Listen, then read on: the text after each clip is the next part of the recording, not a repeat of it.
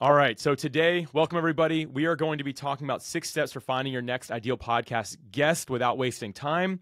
Beyond that, I should have also said like booking, prepping, and some other bonuses that you didn't even know you were going to get. So we're going to dive into all that today. I hope you're all excited to be here. I'm really excited to talk about this today because this is one of the things that's really continuously bothered me in podcasting. And when I say bothered me, I just realized there's so much work that goes into it. And it's also the landscape is evolving.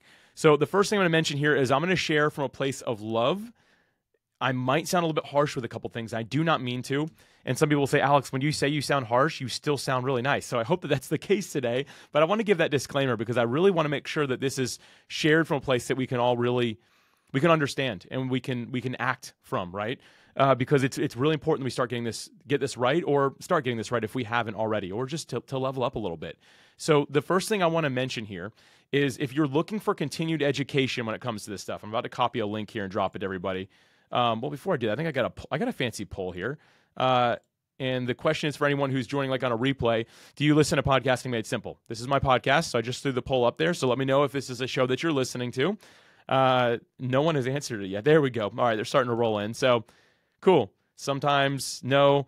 All right, I'm going to drop a link to the show. Mostly no. Interesting. Okay. Uh, here's a link to it, podpros.com slash episodes. I'm sharing that specifically because I'm not going to dive into a lot of this is about finding guests and knowing that they're ideal, how to not waste time. It's not about be, how to become a better host today, but there are some episodes with people, not not even me, that have shared some amazing information on how to become a better host, how to continuously level up for your listeners, I highly, highly recommend it. I know it's my show, but if you've not heard it and you go listen to it, I'm not on most episodes. You got me for about what is it, 14 seconds in the intro, and the rest is somebody else who is much smarter than me sharing on a topic. So I encourage you, if you've not checked that out and you're also saying, okay, sure, I want to save time, I want to find the right guest, but I also want to level up as a host, I encourage you go check that out. Go check that out. There's some, again, some really important stuff there. So again, to kind of go back to like this this idea, and then I'll drive into the the six points I'm going to share. But the first thing I want to make sure everyone is aware of, like, this is really important. Like, it is really important that we get it right with guests because, and we bring on the right ones because everyone who, has had a bad guest before? Has anyone ever had a bad podcast guest? You don't need to say their name. Just in the chat, let me know if you've ever had a bad podcast guest. Okay. Yeah. I've had a few of them. It's a lot of work. It's stressful. It sucks. I mean, there's no other way to say it. Like, it's just a bad experience overall. And I don't know about you, but like, man, that bo- like last night a bad guest. It bothered me for for like almost a full week. I'm like, man, I need to like get better at this. And so over the years, I've intentionally figured out how to improve in this area. And that's what I want to talk about. The the second kind of main thing I want to share here is there's a lot of people pouring in to podcast guesting, more than are pouring into becoming a podcaster. Actually, I, I looked today and there are just there's still under like 410,000 active podcasts right now. 410,000 not 410, 410,000. So 400,000 active podcasts, give or take, right, is what we're looking at. There are over, I don't even know the number, but last time I checked, it was about six months ago. There's over 12 million people actively looking to be guests on podcast. And that number continues to climb because people are seeing the value of it. But here's here's my dilemma with that is when people are seeing the value of it, it's attracting the wrong people to it. And the wrong people often have a lot bigger budget than the person with the right mindset, right? People have this intent of like, we can get even richer doing this. So let's just blast ourselves out there. Let's grow our social following so we look more attractive. But here's the thing they might not be good guests. And I want to make sure that we don't lose the culture of podcasting, which is one human adding value to another. Or sometimes two humans, if it's an interview, right? Adding value to that listener. And I don't want it to turn into these big names, big people only, people with big budgets, all this that are getting out there and just sharing the agenda they have to share to make up for the money they're spending with it. And I'll dive into that a little bit, but it's really important that we have the right guest first and foremost. And it's up to us as hosts, the gatekeeper, to protect our audience from hearing bad information, right? We want it to stay on point. We want to stay on message. And that's my heart behind sharing this today. And again, I'll say some things that are unconventional at best. Uh, I'm actually known for sharing the exact opposite of what everyone else in podcasting shares. Uh, as a matter of fact, that was one of the major headlines after Podfest Global. There was like 10 or 15,000 people there. And uh, the, the moderator afterwards, she got on, she goes, You, I don't know what to say. You shared exactly the opposite of what everyone's been sharing for a week and a half. And she goes, I don't actually know how to process that. So just so you know, take it all with a grain of salt, apply what you agree with, don't apply the rest. But just so you know, I am always in everything completely against the grain. Uh, that's just the way that I am, am, wired. And it's worked very well for me. So I'm thankful for it. And I encourage you, it might be the right role for you as well. So again, success for finding your next ideal guest without wasting time. Number one, this is the first thing I want everyone to do: design a listener transformation journey. I should have made that easier to say. Design a listener transformation journey. And what this means is everybody is looking for transformation. People aren't looking just for more information, they're looking to transform themselves. Now, you might be like, Alex, I have a comedy podcast. Great. Someone's looking for more laughter in their lives. They want to be a happier person. They want to learn some funnier jokes and be more witty themselves, right? Or you're like, I have a coaching one that's just kind of helping people get better. Well, the transformation there is pretty obvious, right? Or just for fun podcast. Maybe people just want more fun in their lives. People are looking for some sense of transformation. The way that we can ensure this is happening with our podcast is to first and foremost know your why. If you've heard me speak, it's always the first thing I say. I say start with why, not because of Simon Sinek, because it's what we should do, right? We should start with why. And the next thing you want to do is tie an avatar to that why. And then you want to think about that avatar, which again just ties back to if your why is to, to add more joy to people's lives. Then you create a fictitious character, which is your ideal listener slash avatar. Build them around that and basically set it up so you can say, I'm serving Adam. Like Adam is my avatar's name, right? Adam is who I am serving. And now, now I want to say, okay, what's the transformation path going to be to get Adam to my why? To bring more joy to Adam's life. What does that look like? You always want to start with that because the more connected you are to this avatar, and put a, put a picture of your avatar right here, right? I have a buddy who actually had a cartoonist draw up his avatar. I can't remember the name of it, but his avatar and his family. He put it in a frame right next to his computer. And he's like, every time I'm, I'm looking for a guest, I'm producing content, I'm thinking of that person and his family, and how is this going to to serve them, and how is it that we're going to be able to add value to him, right?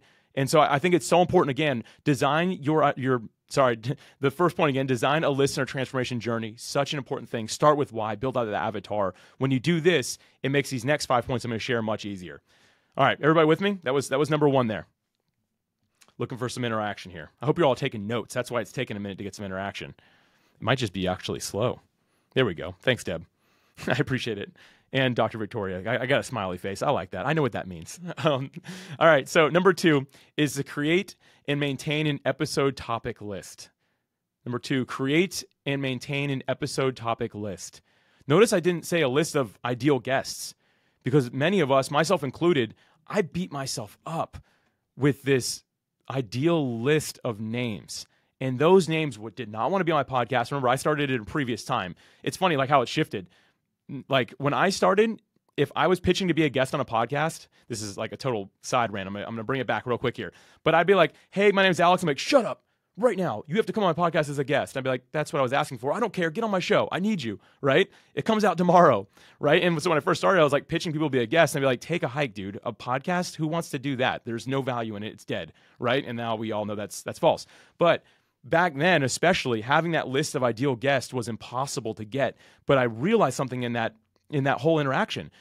It wasn't actually valuable a lot of us build up this list of ideal guest names instead of topics that matter to our listeners because we have a little bit of an ego in it. We think, oh, to bring more listenership, if I have the bigger names on. I've actually found the opposite to be true. For a while, I did pursue early on the big names in podcasting, and occasionally I'll still have them on if they are absolutely the ideal fit for the topic I have listed. Again, not the person, but the topic I've listed. But always, those are usually my least engaged with po- podcast episodes, or they're my most engaged podcast li- uh, episodes because they have so many fans. Those fans show up, so you get this spike, which actually totally ruins your podcast data. So it's like, what's the point of that? Um, it's just not. It's not healthy. As a matter of fact, I had somebody on my show, and he's coming back on because he's actually a good guest, and he's got. He has a, a, for lack of a better term, he has a cult following. I mean, absolutely cult following of tens of millions of people. He's like, hey, man, I don't usually do this. He's like, but I like this interview so much. We've already recorded. He goes, I'm going to share it with everybody. And I was like, actually, I prefer that you don't. He's like, what? I was like, I don't want you to share it. I'm like, that's going to skew my data. Like, I, your cult following is going to listen to your one episode, destroy my data, and then leave. They're not coming back. I'm like, I prefer that you. I'm like, if you really want to, you can, but I'm not going to give you anything. I'm like, I'll tell you when it's out, but that's all I'm going to do. And he's like, I really respect that. And guess what? He'd come back on my podcast, but he says no to. I think he, he only says yes to two a year. Anyway, um, but the point is, I'm after the topic that he knows. And so we've got to really, again, focus on this topic.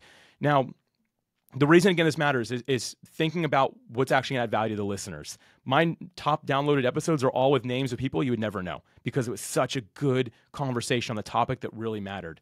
So if you're saying, okay, Alex, like I don't really know how to to find the topics, I'll give you two things real quick. Number one is to repeat the ones that work from a data standpoint. So again, looking at the data, like that means engagement, people finishing listening to episodes, like look at the completion rate, look at the the downloads in the first seven days. Any of those metrics will show you that you hit a topic that your listeners are really interested in. My favorite one is the outreach I get from it. When I get a bunch of outreach, I'm like, ooh, I need to make sure I go back to that. And that's the point right there, is to go back to it. So if you have like this piece of content that works really well, then do an episode like it again.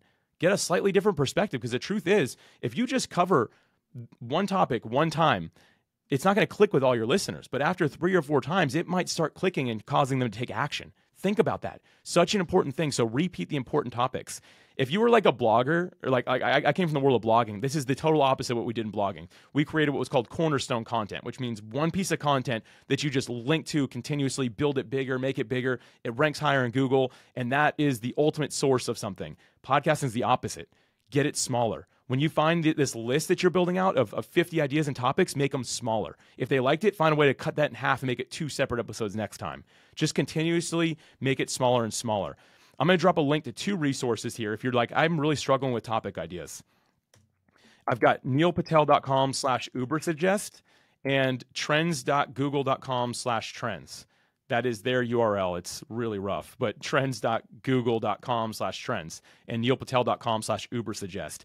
If you put in a keyword that has worked for you, or that you just knew that people really enjoyed, or one that you think is good, and you're like, I don't know how to make more keyword ideas, you drop that in there and it will give you recommended key phrases, other keywords that go with it that people are actually searching for. That's what I like. It's not just a, oh, well, this kind of relates, life coaching kind of relates to spiritual coaching, right? It's not saying that. It's no, it says people who search for life coaching also search for how to make meaningful change in my life now you found another topic. That's something else that you can cover, right? So those two tools right there have helped me a lot to keep this running list of I, I have over 100 ideas now. Like, but I, on a consistent basis, I'm always looking at the ones that matter to people.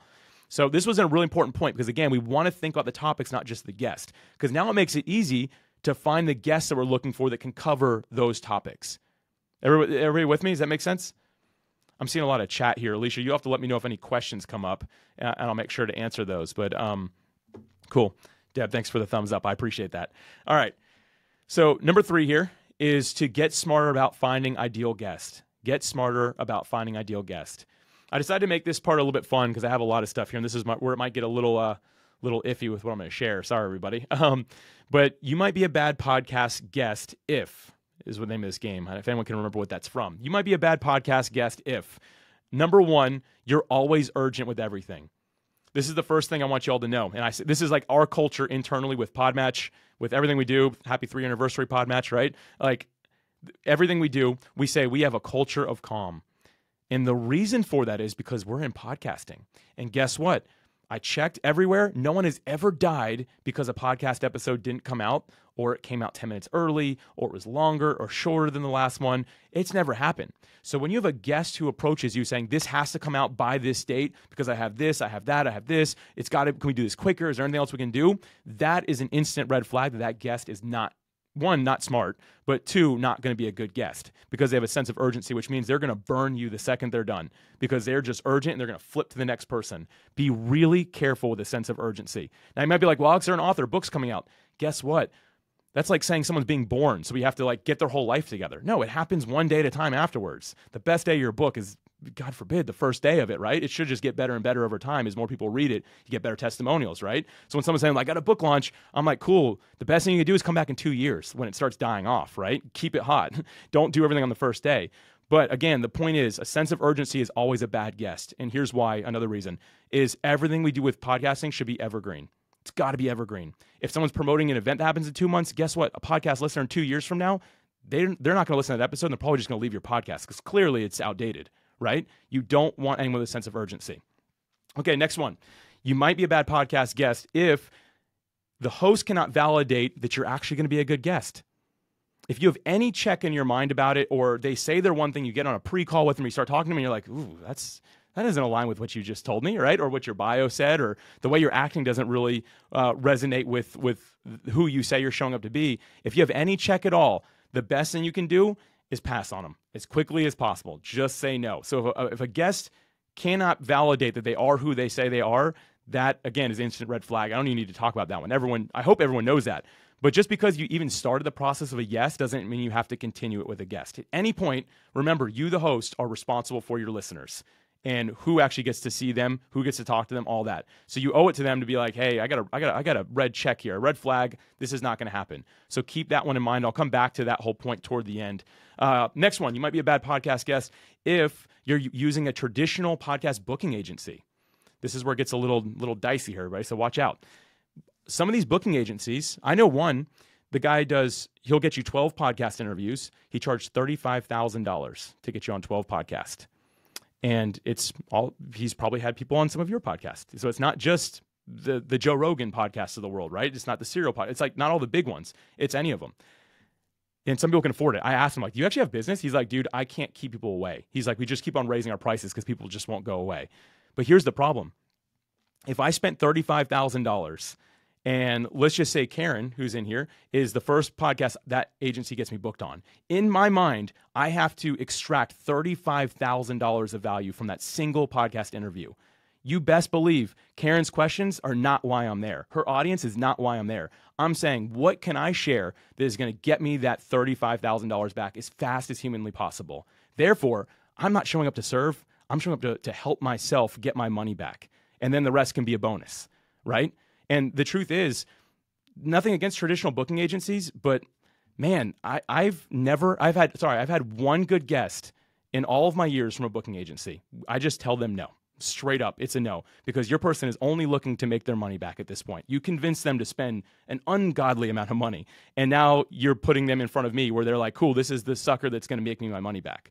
So keep that in mind. If you're getting emails from people that are doing cold outreach, 99.999% of the ch- times, that is not a good guest. So keep that in mind. The other thing is, I wouldn't even consider a booking uh, using a booking agency or letting them have a guest on my show unless they're going to give me some money. Straight up. If they're making five grand by booking that person on my podcast, as the podcast host who does all the work, reaching out to me with a mass email took no work at all.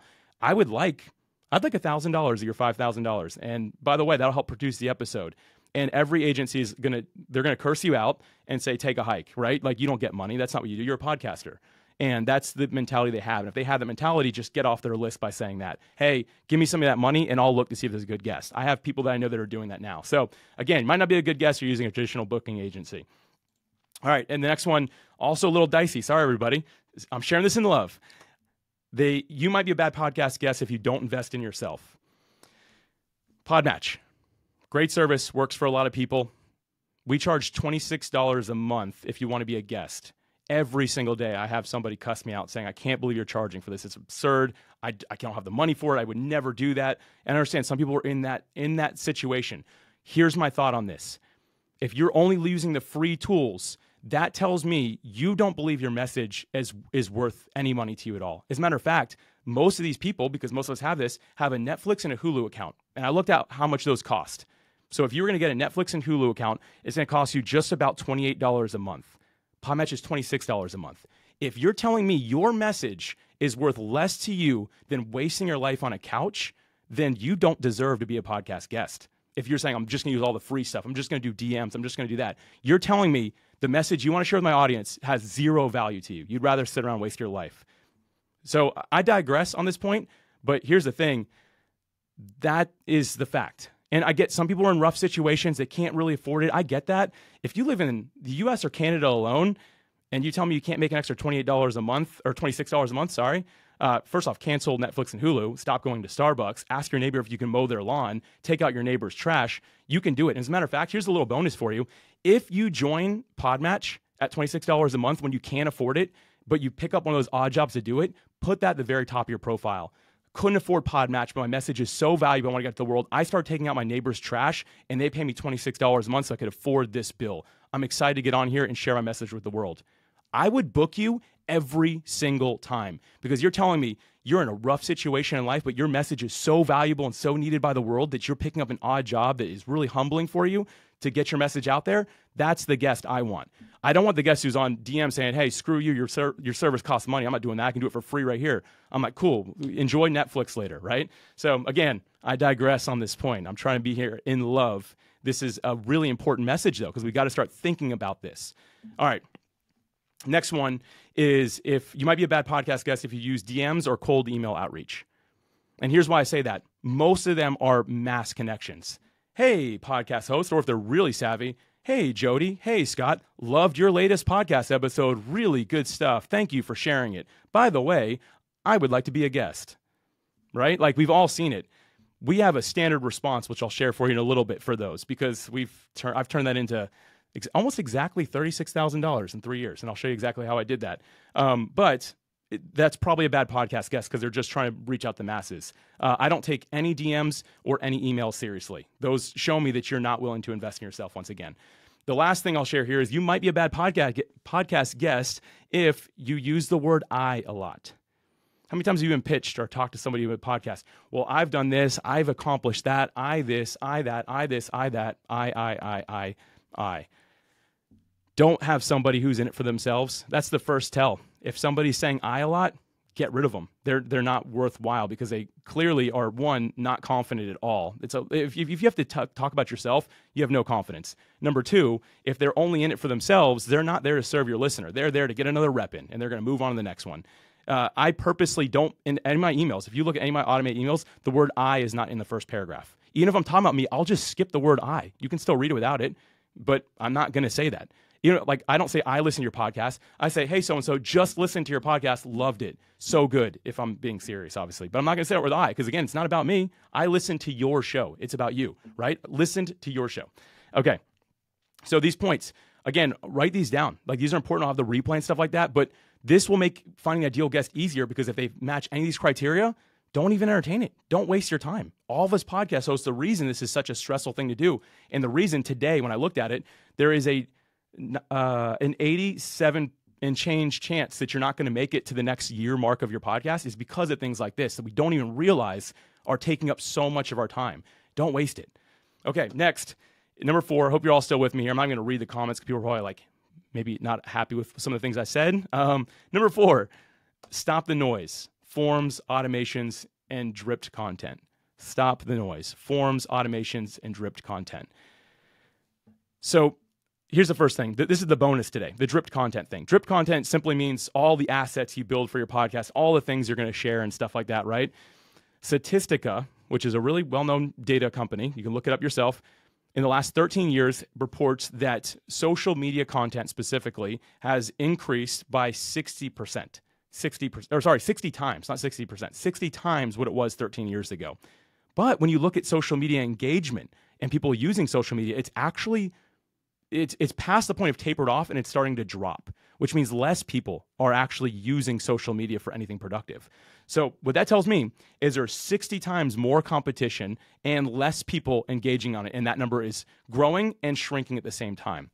And no, no offense to Gary Vee fans. Gary Vee's an interesting character, I suppose, kind of a dinosaur at this point. But uh, Gary Vee's model is just do more. And that works for Gary Vee because you don't know this, but he has literally thousands of people employed just to run his social media. And they just filter through the best of the best. And they have competitions that go on an ongoing basis. Literally thousands of people submitting videos. That's why everything he does is so good. And like, because again, thousands of people. Do you want to be in that game where you're competing, making more content for less engagement? That's a waste of your time. I'm telling you now with drip content, escape the hustle. Here's the solution be yourself, be human figure out exactly who you serve, figure out where they hang out online, and serve just that one person, just the one person. As a matter of fact, if you, you know, here's the, the, the fact the growth rate in podcasting is slower than what I'm about to share with you to do. If you do all the content that Gary Vee is doing, your podcast will grow at a slower rate than reaching out to one person and inviting them to listen to your podcast every day. Because all that content will not get you more than one listener a day. It'll get you maybe one or two a week at most even if you're paying for it. Like it's just not that does not drive listenership. But if you reach out to one person saying, "Hey, I saw your post And it was really interesting you brought this thing about mental health. I just talked with a doctor about that, and I thought maybe you'd enjoy this episode. I wanted to share it with you. Doing that one time every day will grow your podcast faster. Guess how long that takes? 10 minutes, 15 minutes. You don't have to create any content around it. That's what we do. That's how we've increased our show size by literally 20x in the last two years, is just that. No ads. I don't even post about it. Like it's just wasting my time. So the bonus here is avoid the drip content. And also, your guests probably won't share it because it doesn't fit what they're doing or they already have too much crap going out, right? So stop the noise, avoid it, do only what works, the bare minimum that you have to do to support the person that you say, that avatar, going back to that, that you serve. That's my bonus here. Next thing is to stop using forms. If we're honest here, I know everyone here is probably going to say, yeah, I use a, a guest form. You probably don't. You think you do, because it gives you all this data points, but I bet you don't really use it. As a matter of fact, most people I talk to, it's one of the main points I ask. I'm like, hey, so you use a guest form. Can you show me how to use it? Oh, well, it puts everything here for me. I'm like, well, what do you do with that? Oh, it's just, well, it's there so I can see it and I can grab it if I need it. You don't use it. I used to do one. I, I don't even know where it is. It's probably somewhere. It has hundreds of people's emails and all their information on it, and I don't touch it. None of us do. The truth is, you're wasting your time, but even more than that, you're put, instantly putting a bad taste in the mouth, uh, mouth of your guest. Here's an example. Uh, in the chat, can somebody tell me who your absolute ideal guest would be? Like, I know I just said let's not do those two topics, but who is like a dream guest of yours? Somebody drop it in there in the chat. Let's see what we got. Nobody has a dream guest. All right, Barbara Corrigan. She's like, yeah, okay, Barbara Corrigan. Oh, let's do Oprah. That's a great one. If Oprah agreed to be on your podcast, is the next thing you do say, cool, fill out this guest form? Absolutely not. You would never consider doing that. She would say, Cool, you're not serious. I'm out of here. Why do we treat anyone else different? If we say all people are created equal, which is something I believe, why do you have a normal person fill out a form but that you wouldn't have Oprah fill out? You're wasting your time. Even more, you're wasting their time and putting a bad perspective immediately. Stop the forms. You're wasting your time. All right. Next one is automations. I, I believe in automate, delegate, eliminate. That is my life. That's how I can do what a lot of it would take usually a staff of people to do. I believe in it, but I also believe in not automating for the sake of automating. Do not automate for the sake of automating. And what I mean by that is there's so many fancy auto- automation tools, AIs, all this. So we do it because it exists. But here's what, what the truth of automation automation is only saying, I don't want this problem anymore, but I'm willing to take on this one instead. Automation just gives you something else to do later. And a lot of these project management softwares, nothing against them, they've worked hard to build these things. You're spending more time fixing broken automations because every day a connection breaks. You're spending more time than value that it actually has. And on top of that, when I ask people that are really having automation, they don't even know how anything works. They've automated it to the point where they're now just like managing it and like, oh, I don't actually even know what this does or why I do it. Even the the, the professional people that are like going to help you with automations, it really is a waste of time. Just do it manually. Because again, all you're doing by automating is saying, I don't want this problem, but I'll take another one down the road. And typically, the one down the road is more work and more serious. Just use something that's really simple. I, I am going to put another one of my tools up here. It's Podmatch's birthday, but I'm not talking about Podmatch yet. I'll have that one up there too. Podcast SOP, if you're not using project management software at all, Podcast SOP, in my mind, is the, the best software out there. Like, it, it, we built it. There's no automations, there is no workflows, there's nothing other than simply a glorified checklist that you build with instructions and ways to comment and exchange files. Zero plugins, nothing fancy, because again, that stuff is just there to make noise. It doesn't really work. And some people will, now I know will happen. After this, people will send me videos of what they do, and then they're going to show me, well, this one's kind of broken, and we're not really using this right now. And well, I have a team member who's supposed to be doing this, but they're not hired yet. And uh, well, this over here, we're not actually sure why we have this. Even the top level professionals have no clue what they're doing with that stuff. So, again, to save time here, and this was that third one stop the noise. Stop sharing so much content. Stop using forms and stop with all the automations. Keep it as simple as you possibly can because that will cause you to podcast long term much better than you can if you're doing all the things. All the best podcasters I know don't use any of those things, even the really big ones. Like they just said, uh, the simplest problem for me to have is to ask you a question real quick, right? And that's also the most complex problem because I don't have any fancy things, right? People just don't do it that actually know what they're doing. So for us, we can't fall into this trap of shiny objects and thinking we need all the things, right? Okay, number five. Sorry, this is like, again, I come from love. I am trying to help and serve here today. And I know I'm sharing a hard message that many, many people will not agree with. But I'm telling you, I don't know if they have as many podcast episodes as I do. Never missed an episode in five years or something like that. Like, I have a free life. I have I don't I don't work after 6:30. Don't work on the weekends. Like I don't know. If they can't show you that, maybe maybe their advice isn't that great, right? All right, number 5, streamline all communication to a single place. Streamline all communication to a single place. All right, I love this. This is a good one. Right now, because podcast guesting is getting so popular, people are reaching out in every single social platform possible. It's even like the internet is requiring you to build more just to respond to their messages, right? Like, oh, I don't want TikTok, but I'm being forced there because I got to respond to these messages, right? Uh, I'm obviously joking. But we've got DMs from everywhere. We've got emails from like our old email address we haven't used in 10 years. People are pitching to be a guest on your podcast, right? Like, it's coming from everywhere. The best thing you can do is pick a single place to communicate and only respond there. This is going to be the best thing you can do. Now, personally, I'm going to going to share now, and you know, I'm not really like one to self promote, but I'm sharing Podmatch. It's his birthday. Come on, three years, everybody. What's up? Okay, I like Podmatch to be that place. The main reason being is all their details are there. I'm telling you right now, we, we did all like all the research. On average, if you don't use Podmatch, you're going to exchange 14 emails back and forth with each guest, and it's going to take you three additional hours. Podmatch has everything on their one sheet. You can only message, you don't even have to exchange an email address. It's going to save you three hours and on average 14 emails. I like that to be the place I send everybody. So, what I do is I just developed multiple, uh, I use Text Expander, which is you type in a little code and it spits out a blurb of text. Alicia and I have three of these. And anybody who reaches out to be a guest on my podcast, anywhere other than Podmatch, is getting funneled into Podmatch. So let me go ahead and drop these in the chat. It's going to be a lot. And anybody who's watching a replay, you can get them as well. I don't. You know what? I'm gonna have to send them afterwards because it's not gonna let me actually do that, is it? Um, yeah. Anyway, okay. Text expander is great. Yes, it literally like little codes. I can't send it in the chat, but I'll make sure I get it to anyone who wants afterwards. These are my templates. I don't look at it. Alicia does, or another team member does. If anyone reaches out, I don't care if it's the president of the United States.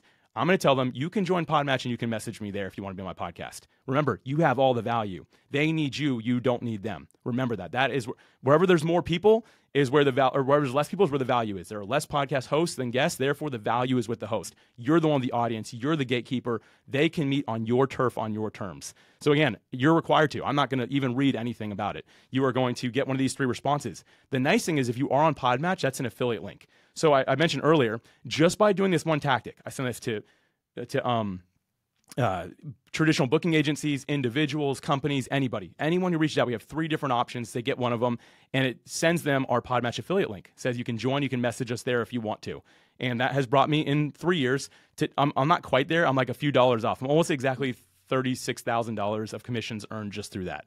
Which is obviously never have the company pay it out because right, it's my company, but it's pretty good. Twelve thousand dollars a year just by making my life easier.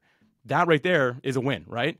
So, again, these are my main points here. And I've got one more I'm going to share, which might be the most impactful for many people. So, again, these are six steps for finding your next ideal podcast guest without wasting time. Number one, design a listener transformation journey. Number two, create and maintain an episode topic list, not names. Number three, get smarter about finding ideal guests. I talk about all the things that you might be, make you a bad podcast guest. So look for those and avoid them. Uh, number four, stop the noise. Don't use forms, don't use automation, stop with the drip content. Only do what works and keep it as simple as you possibly can. Number five is to streamline all communication to a single place. Again, my suggestion being Podmatch, but find what works for you. If that doesn't work for you, please don't use it. Uh, and the last thing I'm going to share here, and this one's really important, one with this, is to stay true to the journey. Trust yourself.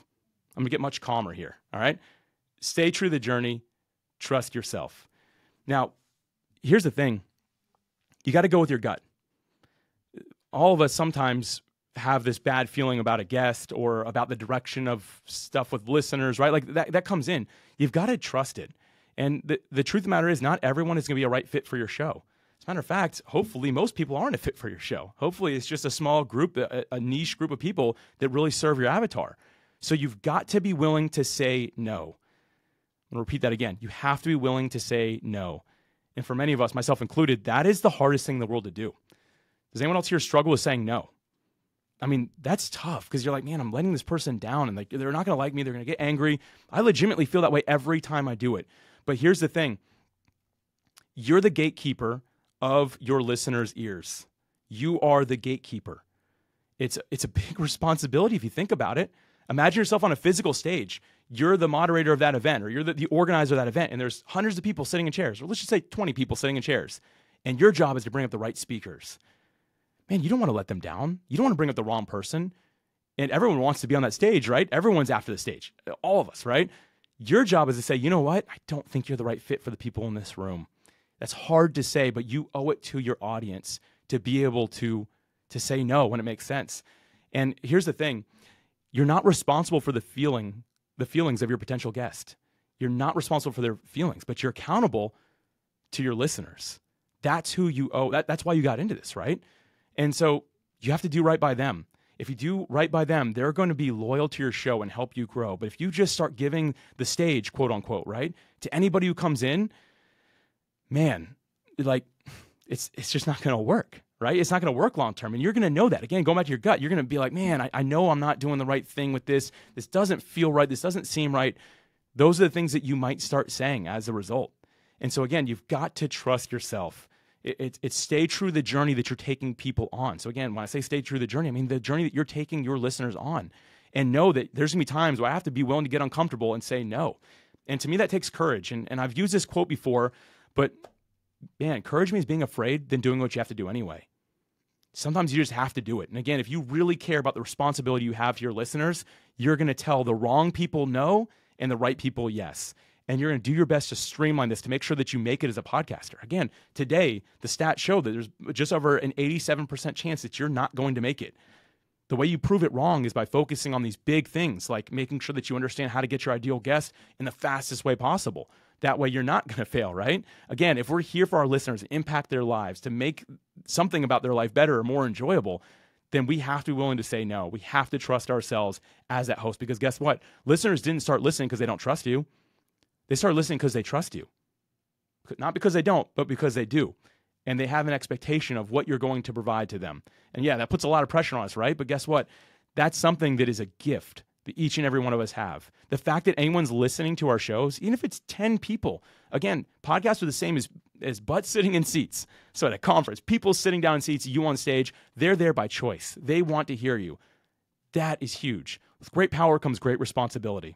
I just made that up, just so you all know. Um, I, I know what it's from. But for real, with great power comes great responsibility. Our responsibility is to be that gatekeeper, to say no, to find ways to make the process quicker. And as a matter of fact, I'm going to go ahead and discredit everything I've said here today. Don't listen to me. I, I don't know what works for you. For you, it could be totally different. You have to find what works for you. I'm telling you the best of what I've learned that has worked for me. And my prayer and hope today is that one thing I said will inspire you and help you be able to to to take it, run with it, right, and to do better. So, guys, that's all I've got here today. Uh, I'm really thankful for everyone being here. And uh, again, at the end of the day, I think that as long as we maintain this this attitude and mindset of we're here to serve, not to be served, man, I, as a follower of Jesus, like that, that, that was like Jesus' model, right? Like I'm here to serve, not to be served. I'm here to love. If we can have the mentality of we're here to love and serve people, this is going to go really far. The best days of your podcast are still ahead of you. I think they're actually just getting started. If you can keep that mentality, I'm here to love and serve the people that are trusting me and listening. So again, everybody, I thank you so much for being here. Uh, I'll have the resources if anyone needs them or anything like that. But I'm gonna go ahead and stop the recording, and we'll do a quick Q and A. I think we have a few minutes here. So thanks again, everybody. I appreciate you.